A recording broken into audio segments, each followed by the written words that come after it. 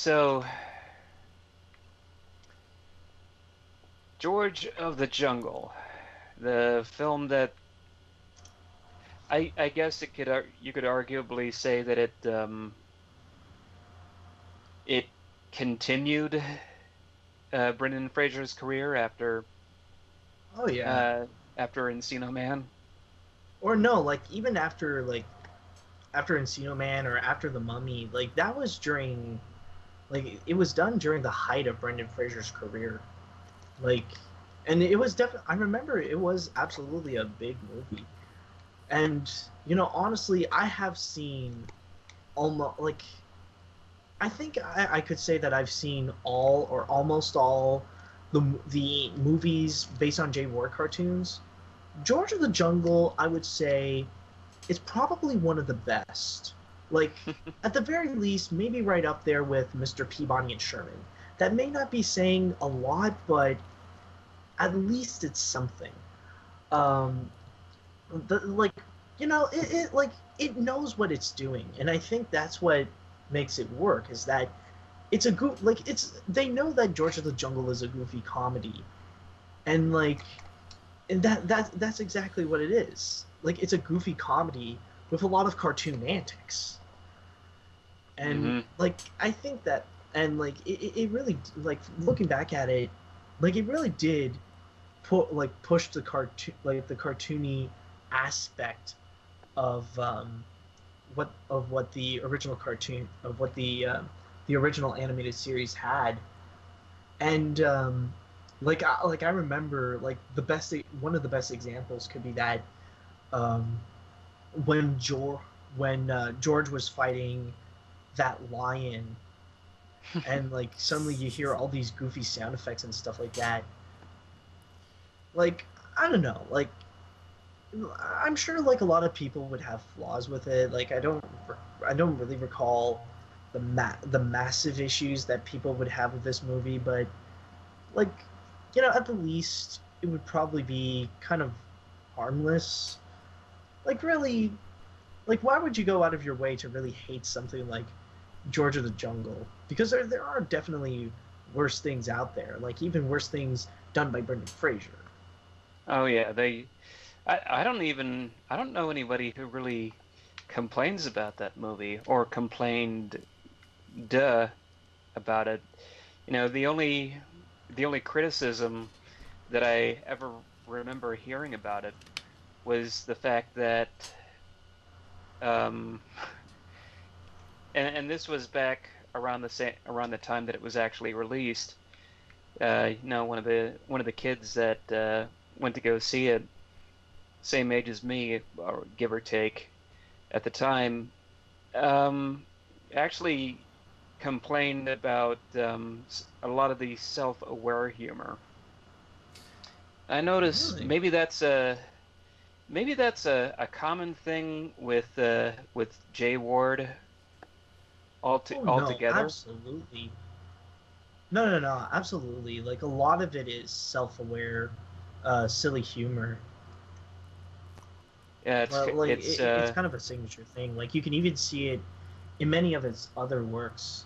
Like the one thing I will say that, um, like the best thing, like the one thing I know is that no matter what, like this is absolutely better than another uh, live action movie starring Brendan Fraser that is based on um, like that is based on a Jay Ward another, another Jay Ward cartoon was um, Dudley Do Right. I remember that one kind of sucked. it was trying to do the same thing, uh, essentially. It But I think that one was released uh, before George of the Jungle, though. I think. no no no. It uh, I remember the advertisements for that very very distinctly. Trust me, I was. I Or maybe That was yeah, at a- right. that that was at a, a a time in my life when I was religiously watching movie trailers online because oh my god, you get to watch a movie trailer online and it's in high quality. Yeah, it came out two years after George of the Jungle. So that I was sort of uh, I was sort of eating that up, just like okay, I don't have television yet, but my goodness, I'm gonna rewatch this ad over time and time over, and it specifically said From the creator of George of the Jungle and the star of George of the Jungle and the acclaimed director who saw George of the Jungle. Okay. Yeah, I And do they remember. were so okay. proud of this that they set put that in all the ads. hmm Okay, yeah, because I remember. Um, no, because it is true. Because technically, I do remember there was at one point in that Dudley Do Right movie that they legit made a reference to Pokemon cards. And you know that there is actually another connection between George of the Jungle and uh, Dudley Do Right is that they actually feature a sidekick character that was played by a Monty Python performer. Like in George of the Jungle, it was John Cleese, and in Dudley Do Right, it was Eric Idle. Oh yeah, I had I had not I had not previously made that connection. Like there are a lot. There's surprisingly a lot of connection between those two. Uh, uh, but still, I think I think with whatever was going on with George of the Jungle, um, we meant we previously mentioned the the self-aware humor. It it got to the point where it wasn't it wasn't it wasn't grating. It was just enough. I mean, I because I remember, you know, there's gags in there where some of the thugs are actually in a shouting match with the narrator. Uh, but one of my yeah. but it gave it gave us one of the one of the best fourth wall jokes I've ever seen in in a movie, Yeah. Oh, what is which it? uh, which happens ironically right after we have a doo doo caca joke. Yes. Oh, I think I know. the Which... one part where the guys look into the camera after after Lyle face plants into some into the pile of dung and they say this is the part where we all throw our heads back and laugh. yeah. Yes. Oh, that was George of the Jungle. Yeah. Yeah, that's George the Jungle. Oh yes. Oh my God. Yeah. Yeah, that's like legit making a comeback now. Uh, Now this is the part we throw our heads back and laugh. Ready? Ready? uh, that was a that was a thing of beauty right there. oh, absolutely. Yeah. It just Ah. it was just interesting that it was released in '97 and it was Disney, and yet two years later, Disney did their own version of Tarzan. Well, you you can't uh, you can't really hold back like the uh, doing anything like the original material. Yeah. Well, I guess. Honestly, no. The bigger irony when it comes to that Tarzan movie, like, was that how nine, how like five years before that Tarzan movie, they would release the Jungle Book, which would surprisingly have a very similar plot. Where it's no longer the Jungle Book, it's Tarzan. Down like, and it's almost frightening how that Jungle Book movie has so many parallels to um, to Tarzan, down to the point that there's even legitimately a scene where, um, like the the woman character is trying to teach Mowgli how to become like a civilized human being, and they do the exact same steps. Like they show, like they show him slides, like they show him, like they do like the words thing. Like it's almost the same pattern. Like when I was watching it, I like I keep try I keep holding myself back from making any Phil Collins joke because I know I can't because it was released in 1994. Mm-hmm. And that's welcome to the Disney's '90s fish out of water formula.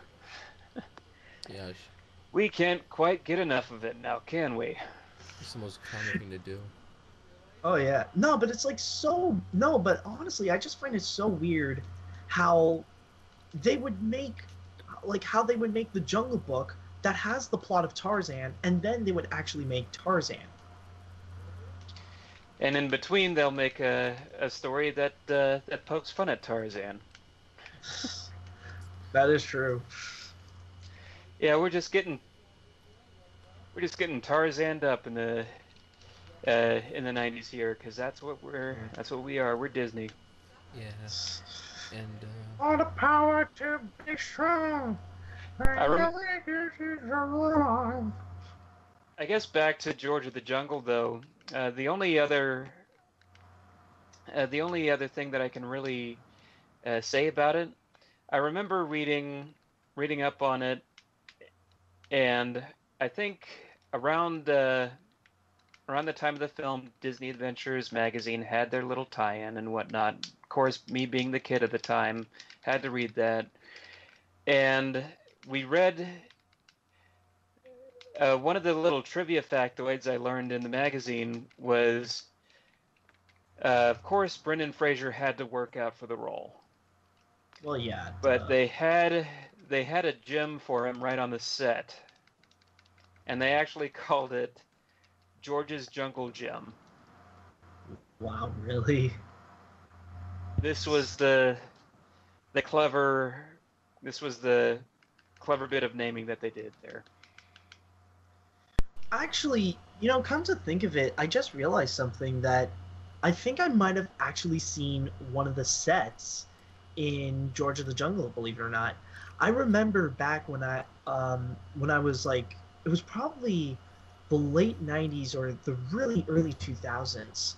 I was at Walt Disney World and like they still had the um the tour, you know, the uh back backlot stage tour.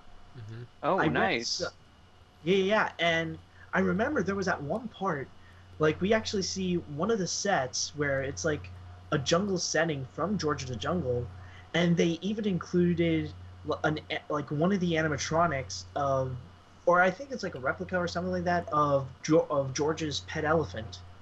Mm. Oh. Yeah, there's one, there's one aspect of the film that uh, we're not sure has has quite aged well is bad CGI elephant. Oh yeah. But, I can't thi- believe it, isn't actually. like isn't it like a mix of everything? Like they had a real elephant and then an animatronic elephant and then Yeah. a CGI elephant. yeah, it was a mix of everything, but you could tell when it's CGI pops up, it's just like, oh, who's a good little puppy? Who's a good little puppy? Oh yeah. Thank you, Dino.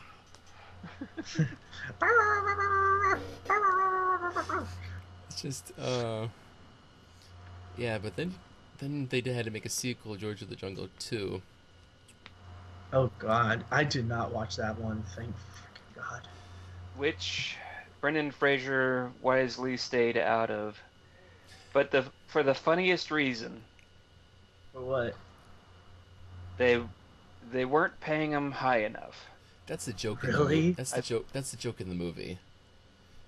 That is a joke in the movie. That's the joke in the movie. That's why. That's the because the narrator narrates the beginning of it, and all of a sudden he looks at George like, "Wait, you're you're not George," and it's like, and the new person playing George says is like, "They're not paying Brendan Fraser enough," so that's why he didn't come back. That's not. That's that's just a joke in the movie.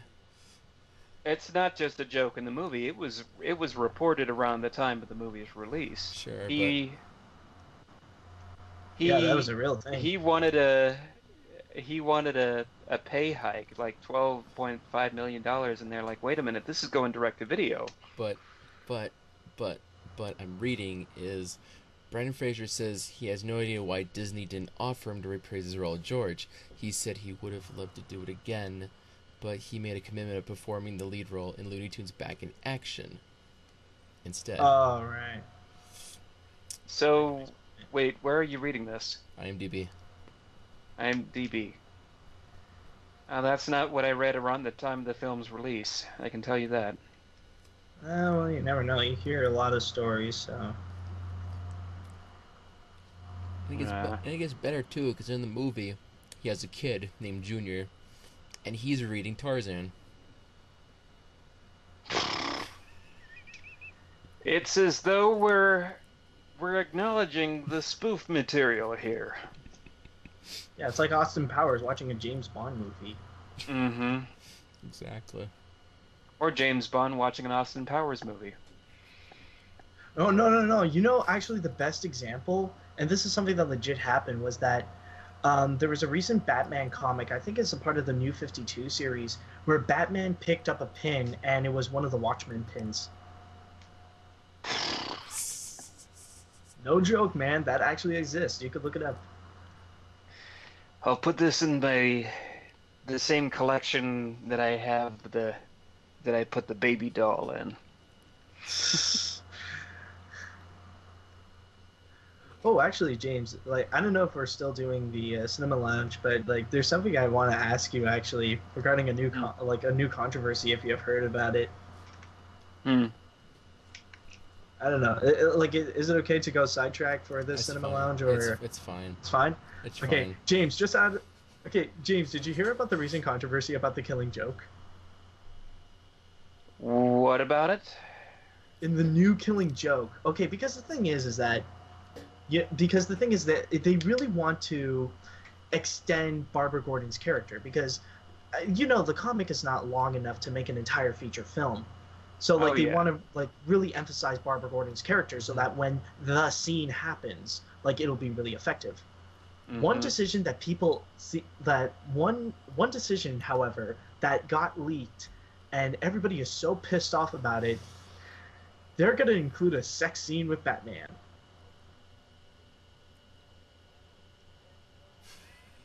No joke. Do you want me to repeat that for you? Nice and slow. To be honest with you, He's gonna pull his comic out. let me close the door Okay. just so word doesn't get out. To be honest with you, I at the very worst what I was anticipating was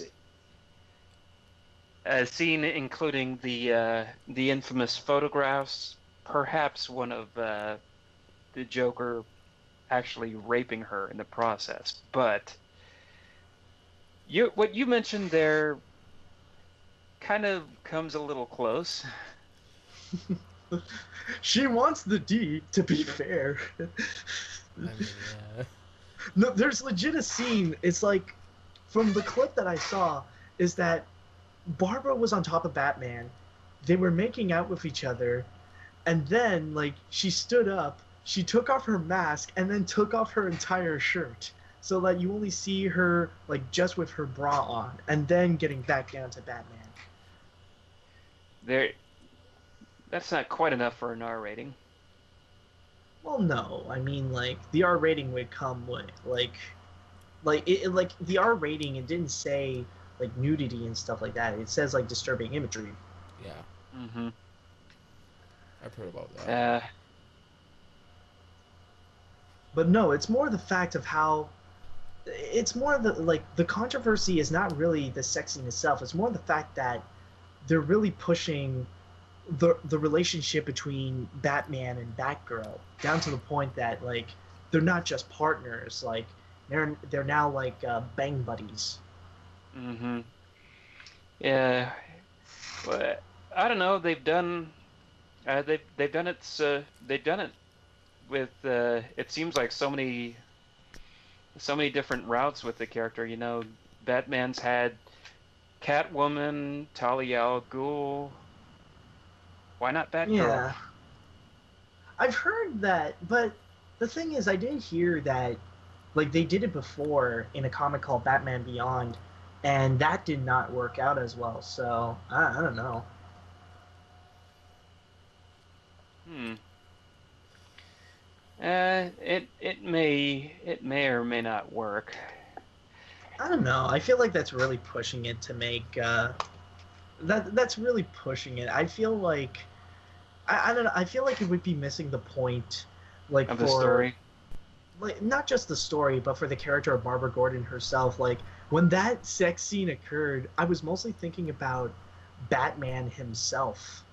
Uh, like I was just thinking, like if Batman saw Barbara, Gor- like if Batman found out that Barbara Gordon got shot, like the only thing Batman would have on his mind is like, now where will I get the pussy?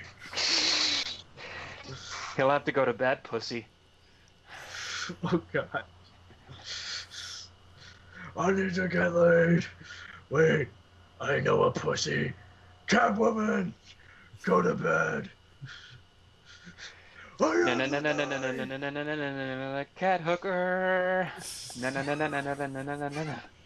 Well, it is Bruce Wayne after all. He's got the money. Uh yeah. Actually, that that is something that is something that surprisingly has also has also been a thing. I mean, I'm What, I'm right now playing. puppets? I'm right now playing as we've been talking here. I'm I'm playing Arkham Knight. Oh, okay. Surprise, surprise. He's multitasking. I'm multitasking, talking about George of the Jungle, Tarzan, Batman, and uh, and a side of, and a side of Space Jam. So uh, Inside of Slam, if you want a jam. so I'm a ma- I'm an extraordinary man who does extraordinary things, I guess. But in all seriousness, um, there's a subplot. Is that our timer? Yep. Jungle Boy. Tarzan Boy. Junk buggy. Oh, Uh, that's not so bad. Okay. Yeah, that was a timer, by the way. I, I just, you guys started talking. I was like, I better just start the timer just whenever. So I just did 15 minutes. So Mm-hmm. it was some short, short little thing. It's fine. So it was good. It's a good little warm up for the vocals. Mm-hmm. So James, are you going to be the completionist and finish the game completely, 100%?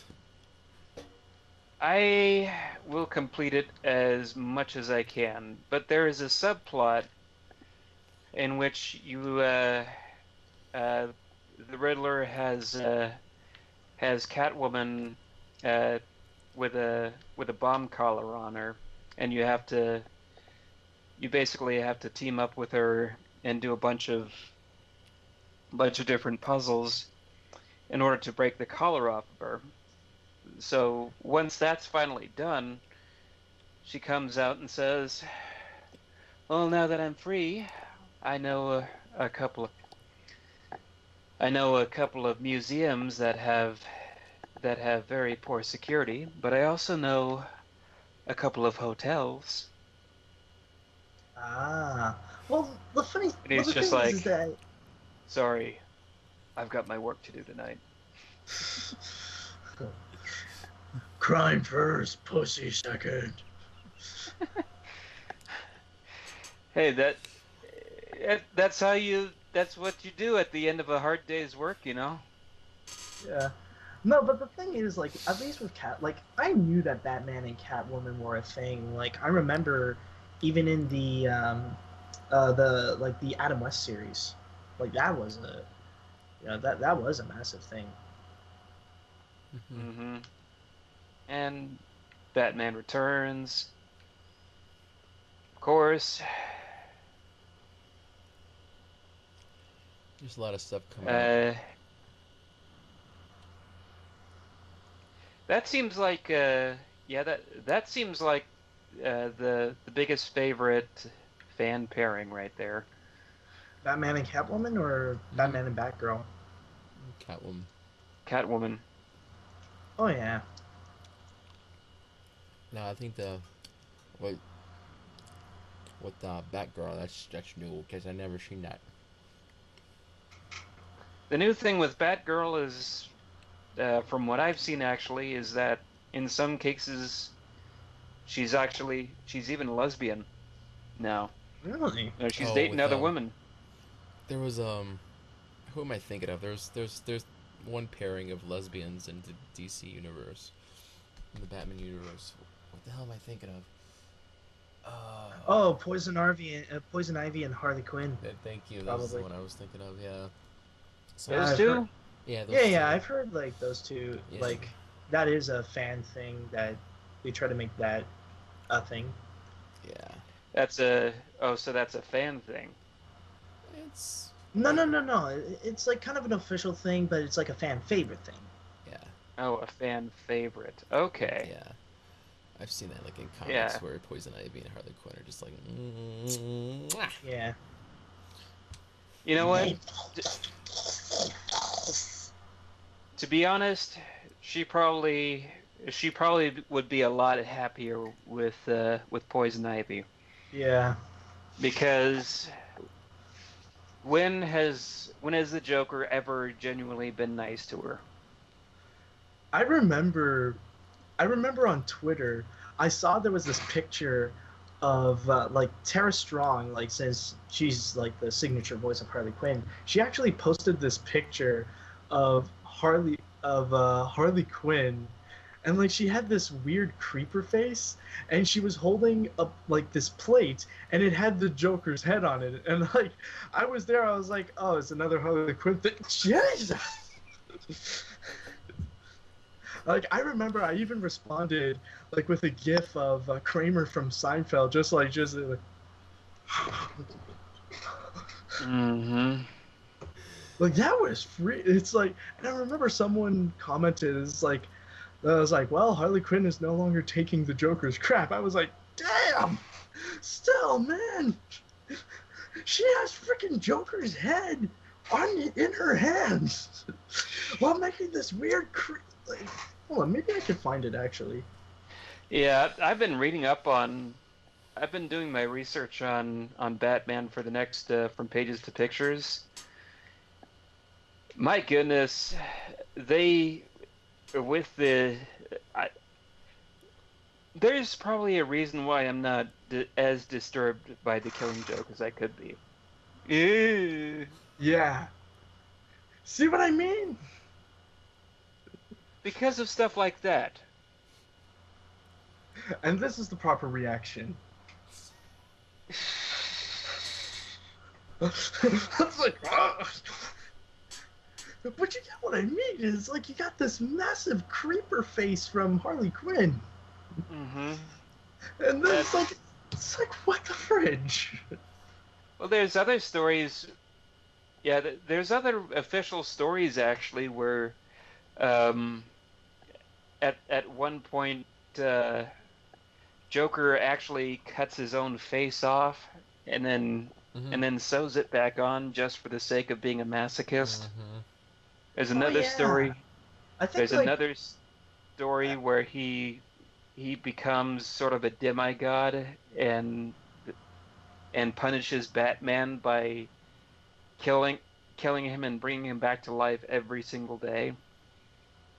For the so I uh I I I think we've I think we've um I think we've pushed the the limits far enough as far as what we can do there. Yeah. I think I remember. I think I know which comic. Well, I don't know. I don't remember the name, but I, re- I, I think I know which comic you're talking about in terms of like the Joker's mask pulling off. Because I remember at the DVD store that like near my place, they actually sell a special edition of that comic where you can also get uh, that uh, that mask of the Joker, like literally of his like of his like severed face and like reattached. Mm. Huh. Because you'd really want that, right? Sure, let's just put that on for It's- Halloween. Be like, "Boo." It makes a nice collector's item. Tweak or tweet. Bong. yeah, it makes a great mask. You know, it makes a wonderful mask when you go out and kidnap Sandy Claws. Mm-hmm. oh boy. Okay. Uh, what ca- what can we do next? Oh yeah. Let's do let's start the episode. Yes. Oh yeah, I wanted to. the uh, reason why we are here. You are gathered here, my disciples, to talk about the Lord that is Tarzan, Oh Lord, that is Tarzan. Lord of the Apes, Tarzan. Mm-hmm. I kill myself. Um, so there's two '90s movies and one '80s movie. So I was thinking, Matt, we're going backwards. So I'll go with the Disney from '99. Mine is from like '97. I gotta double check the year, and then James is like the oldest one on the bunch, so I figured we'd go backwards. You know, me, uh, Matt, me, and James. Mm-hmm. Yeah, save me for last, please. I finished the I finished the ice cream challenge last anyway, so So, of course, but I will get my revenge with the cookie. Oh man, cookie face challenge. uh, yes. Okay, And so, I have cookies actually. We got animal crackers now. oh boy, but I need a I need an actual cookie. I need a cookie. Okay, you need a cookie to put on your forehead, not an animal quacker. You put a cookie on your head. but I an animal that. cracker is No. like a cookie. It's No. a it's like a cookie No- with a little shape. Nope, it's not. You gotta have a Makes it- cookie. You got, that's a cracker. You gotta put a cookie on. It's gotta be a round. So- It's gotta be a round circular cookie, Okay. and you put, it Oh. on, put it on your forehead, and you try to inch it down to your mouth. So If you drop it, do you put it back in your forehead? for our challenge, I think. I mean, if you drop it, I think it's you're out. I think. I don't think Uh-huh. we're. I think we're just doing a, a quickie where it's just like, let's see who can do it, you know, and then they win. It's not like a time thing. It's just like, go do it, see who wins. Well, if if we're doing like from first to last, then we kind of have to do the um, like I think it would be like we kind of have to do the, you know, who's on who's gonna go first, who's gonna go last, and stuff like that, because that way, when we like that way, at least we'll know, you know. It's true. That's true.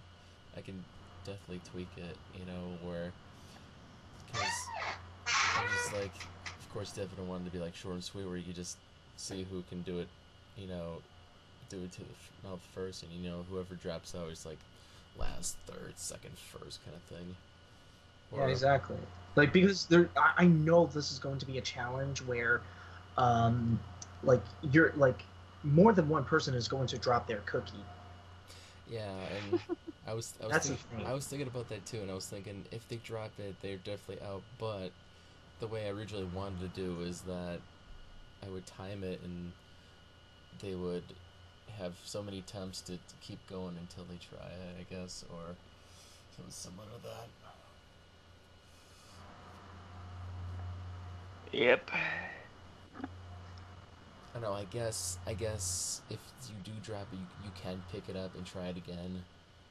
You know. Well, you have to put it back in the same position though. Yeah, right. That's the catch. Right, right. Not, not like it's just a, it's like a reset button. It's like if you drop it, you reset and try it over and over until you do. Mm. You can't just put it back like where your nose was. Right, exactly. You know, that's probably a better idea because it's, it's like if you if I had it where you dropped it, you just lose. That just isn't fair. I guess. I guess if you, if you keep trying and trying, it'd be better. Yeah, I think that'll be, but that won't be for a while, because I know uh, we won't be doing it. I don't think we're doing it next week, because I know we're gonna be busy next weekend, especially Con Bravo for Matt. Yeah, Oh yeah. Yeah, I won't even be here. So Are they they're they're paying you or they're paying No, you no, no, no, no, no. No, they're not really paying me. It's just like I'm going there by my own terms. Oh. Well, oh, okay. so well, these aren't the guys okay. that invited you. Yeah, they invited me. Like they did invite me, and technically, like I, I, I- don't have to pay for my uh, ticket to Con Bravo. Oh, so it's like a press pass. Yeah, Okay. pretty much.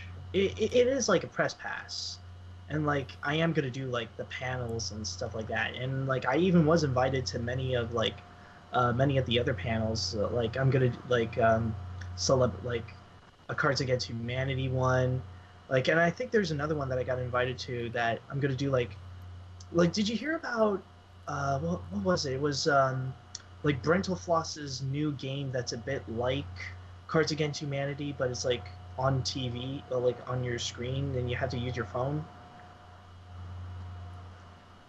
You haven't Mm, heard of that one? No. Okay, well I'm doing something like that.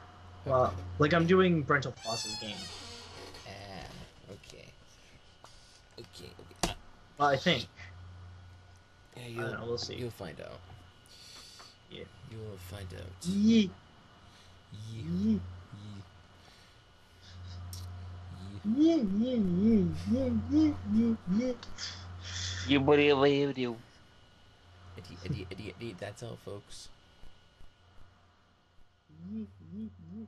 That's all, folks.